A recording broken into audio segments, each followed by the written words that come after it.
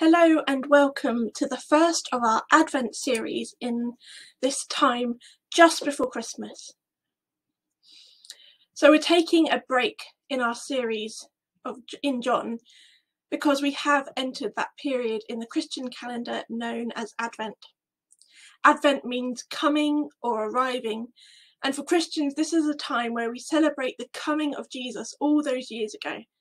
And we also wait in eager anticipation for his second coming. And so this period is a time of spiritual preparation, a time when we make ourselves ready for the birth of Christ, not just from thousands of years ago, but the birth of Christ in our hearts today. We daily invite Christ to reside in us and to grow in us.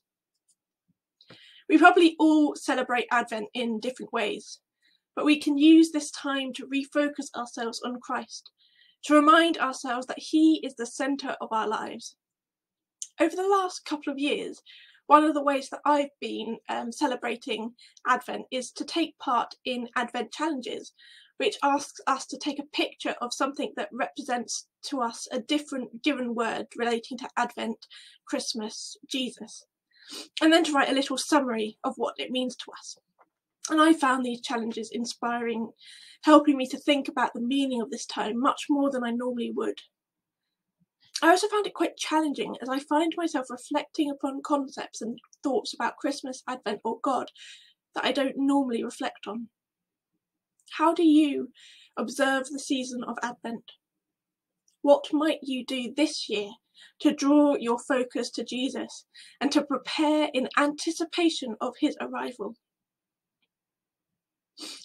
The four Sundays in Advent are traditionally cele- celebrated in many churches with the lighting of Advent candles representing the themes of Christmas. There are slight differences in what these ca- candles represent, but many follow the idea that the candles represent hope, love, joy, and peace. Each week I will be lighting a candle, which this week is the candle of hope we remember that in Jesus we are given certain hope. So let's light that first candle.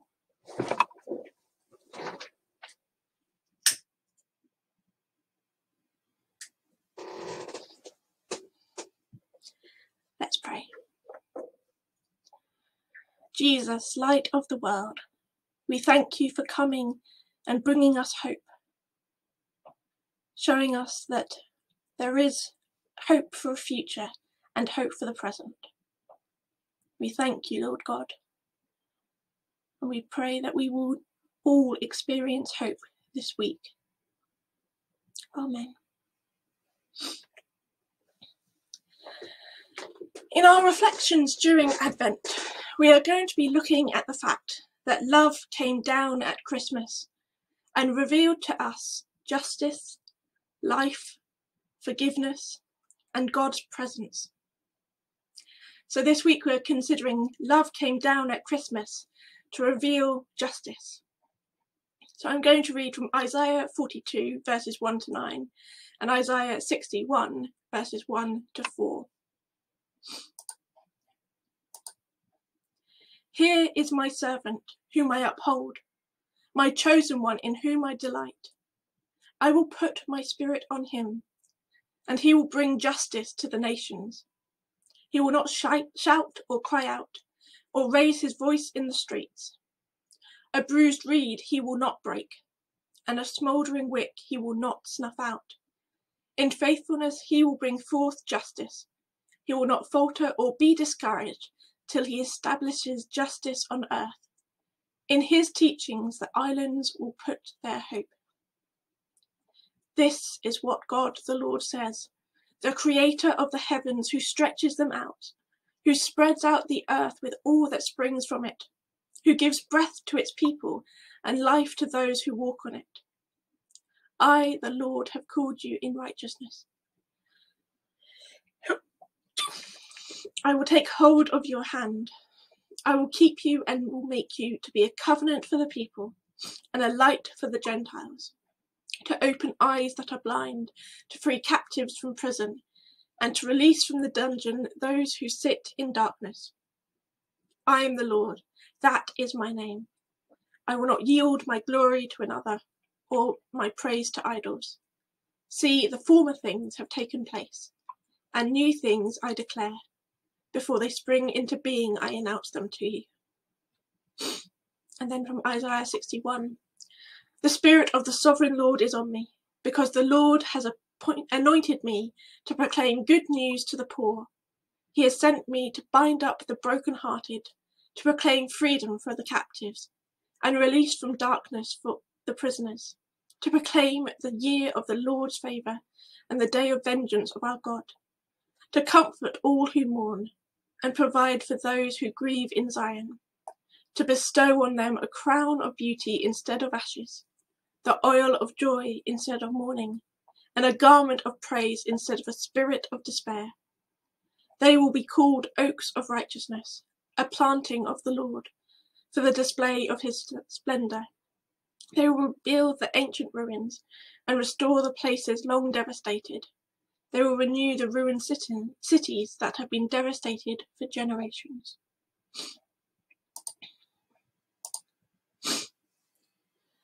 It is apt that this Sunday the Advent candle is lit to represent hope, because Jesus' arrival was foretold long before his birth.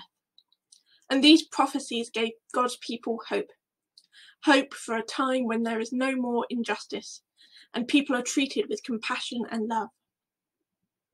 We live in a world of survival of the fittest, where many people are squashed underfoot because they are considered by others as worthless or weak. But Jesus came to bring hope to this world, to show people the reality of the kingdom of God, the upside down nature of God's rule, where the weak are strong and the powerless are given power. Jesus came to proclaim good news to the poor, to bind up the broken-hearted, and proclaim freedoms for the captives. Love came down at Christmas to reveal the meaning of justice, to bring justice to the earth. So, what is this justice? Well, firstly, it's gentle yet powerful.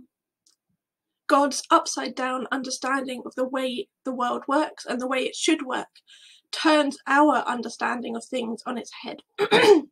we often equate the pursuit of justice with might and force.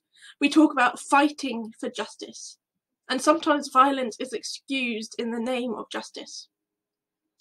Because injustice can seethe inside of us, creating in us hatred, rage, bitterness, helplessness, and a desire for vengeance and revenge. But we see in our passage for today that justice is gentle, yet also powerful. We are told, Here is my servant, he will bring justice to the nations. He will not shout or cry out, or raise his voice in the streets. A bruised reed he will not break, and a smouldering wick he will not snuff out. In these words, we see a strange combination of both power and vulnerability. Justice will come to the nations, but not by might or force, but by the gentle compassion and love Jesus has for people. God has every right to send down his wrath upon the world, and yet instead he sent love to come down at Christmas. It is a fact of life that gentleness often de escalates violent situations, volatile situations. Maybe not instantly, maybe not easily, but bit by bit. When people see continual gentleness, compassion, and love for other human beings, they will be impacted by it. And we have seen clear examples of this in our history when we look back at great heroes of justice such as Martin Luther King Jr., Mahatma Gandhi, Mother Teresa, to name just a few.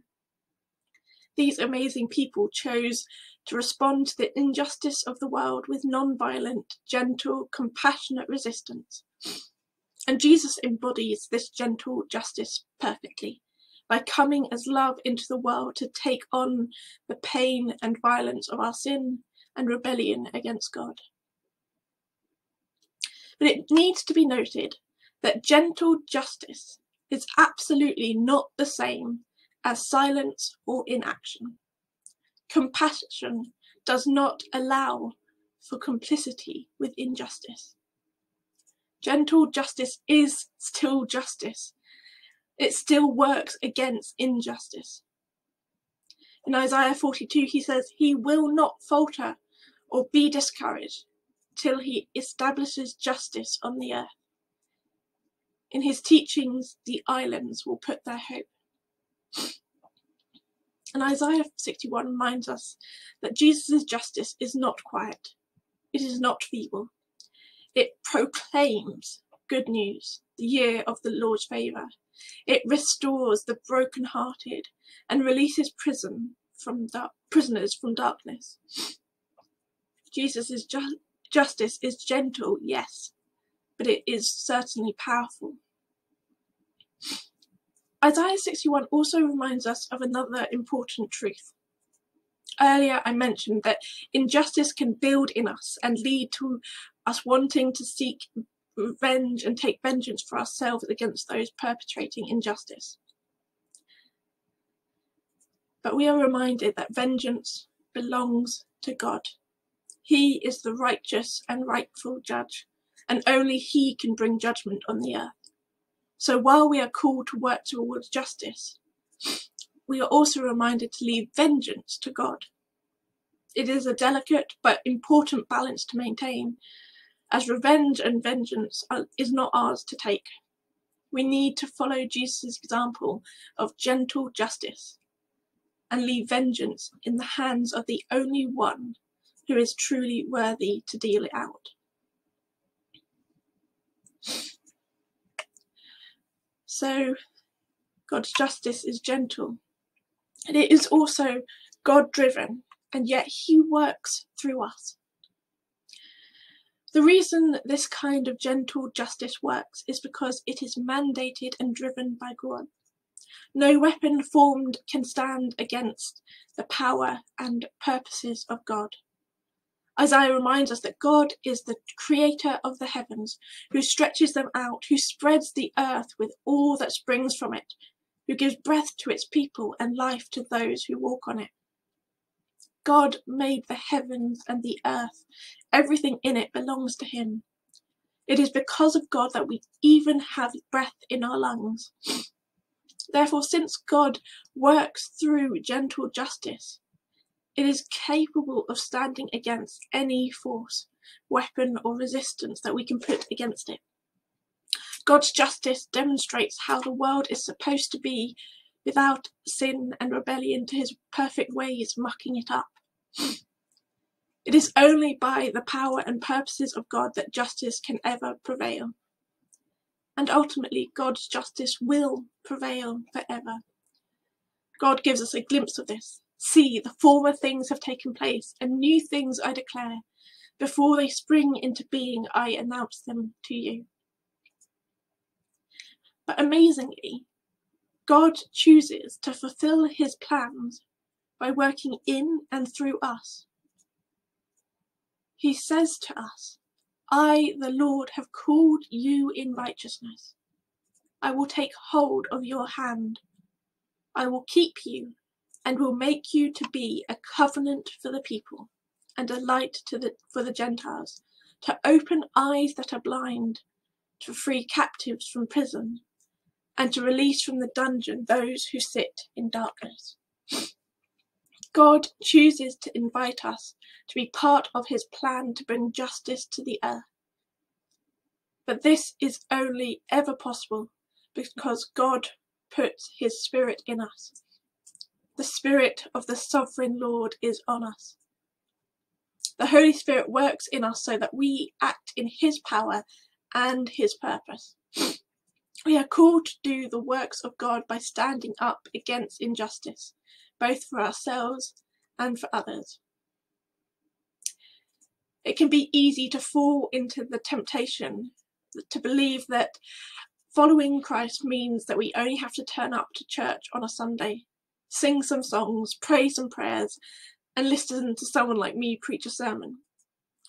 But passages like these blow that assumption out of the water because God commissions us to go to open eyes that are blind, proclaim good news, comfort those who mourn. Wherever we have been placed by God, in our homes, our families, our neighbourhoods, our communities, our social settings, our doctor's surgeries, our shopping trips, wherever it is, we are responsible to work for justice there. Wherever we go, we carry the power of God with us. And so too we carry the charge to seek justice everywhere we tread. So, thirdly, justice is for all, yet it is also personal. The very definition of justice demands that it is, it is for everyone. No one should ever be excluded from being treated with justice, no matter if they are people we like and respect, or if they're people we find represent reprehensible. Justice is for everyone.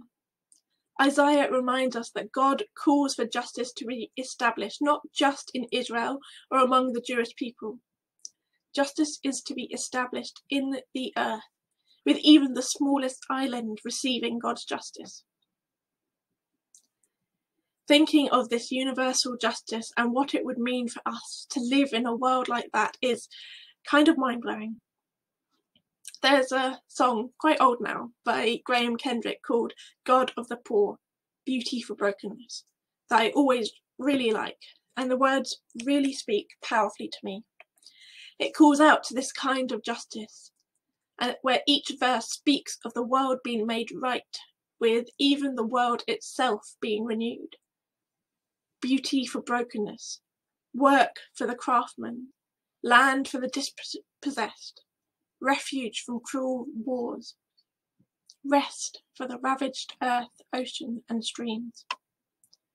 This is the promise of the justice of God. Just imagine living in such a world. So, justice is for all, but it is also personal. Sometimes, when we think about something being universal, it becomes abstract, distant, impersonal and sometimes even irrelevant to individual lives. But God's justice is not just universal, it is personal. It is for each and every one. No one is to be overlooked. That means that justice is for you and me. There may be something that is personal to you that you want or need justice in. God offers that justice. He wants you to know His justice, His peace, the hope of His coming coming not just to and for the world as a whole, but coming to and for you, because you are precious and beautiful in God's sight. He loves you and wants you to know justice, true justice. Not the flawed justice we see in the world, but true justice that looks at you as the person you are, not looking through eyes blinded by stereotypes, prejudices, or biases. God looks at you and sees you. Take courage in knowing that you are seen and known intimately by the God of justice, who wants you to be valued for who you are. Love came down at Christmas and revealed to us justice. Jesus came down to demonstrate what God's kingdom is like, and he invites you into his kingdom empowering you to be agents of His gentle justice through the power of the Spirit. God invites you to know His justice personally for yourself and to seek it for all people. As you prepare for Advent, for Jesus' coming, let the Holy Spirit fill you with His justice and hope. Ask God to help you see the world and all people with His eyes. Amen